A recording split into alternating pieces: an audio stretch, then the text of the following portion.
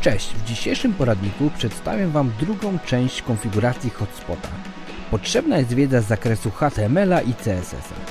W pierwszej kolejności sprawdzamy folder, w którym znajdują się pliki naszej strony logowania. Przydatny będzie jakikolwiek edytor, który zawiera kolorowanie składni. Przez FTP logujemy się na nasz router i odszukujemy plik login.html. To właśnie w nim dokonamy największej ilości zmian. Szablon strony możemy załadować dowolnie. Ja skorzystam z Bootstrapa. Wszystkie pliki CSS i JavaScripty muszą zostać dodane lokalnie, czyli wystarczy je skopiować do naszego katalogu hotspota.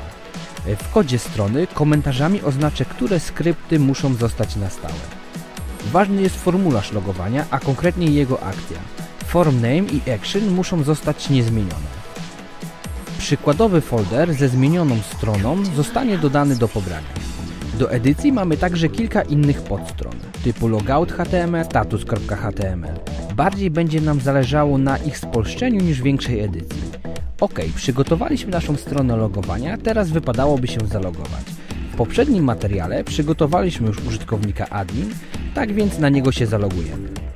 Teraz kilka przydatnych rzeczy. Jeżeli chcemy sprawdzić, kto i jak długo jest zalogowany do naszego hotspota, przechodzimy na zakładkę Cookie. Domyślnie ciastka ustawione są na 3 dni. Dzięki zapamiętanym ciasteczkom możemy określić, czy dany użytkownik ma się logować bez konieczności ponownej rejestracji. Ustawienia czasu ciasteczek edytujemy w Hotspot User Profile. Kolejną ważną rzeczą jest Shared User oraz Rate Limit. Jeżeli chcemy, aby na nasz hotspot zalogowało się na przykład 500 osób, musimy zmienić parametr Shared User na 500.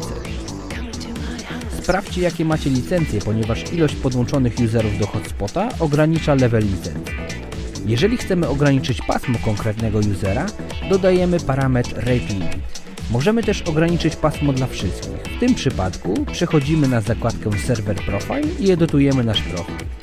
W General mamy także Rate Limit, ten właśnie tyczy się wszystkich userów.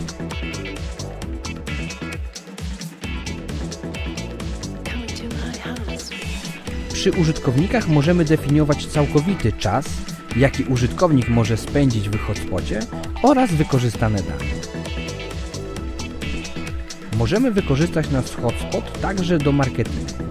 MikroTik daje nam możliwość przekierowania użytkownika zalogowanego na konkretną stronę www, przykład po upływie jednej minuty. Minusem tego jest to, iż działa to jako pop-up.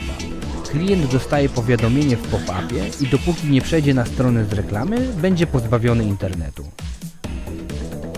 Czasami istnieje taka potrzeba, aby część użytkowników traktowana była specjalnie.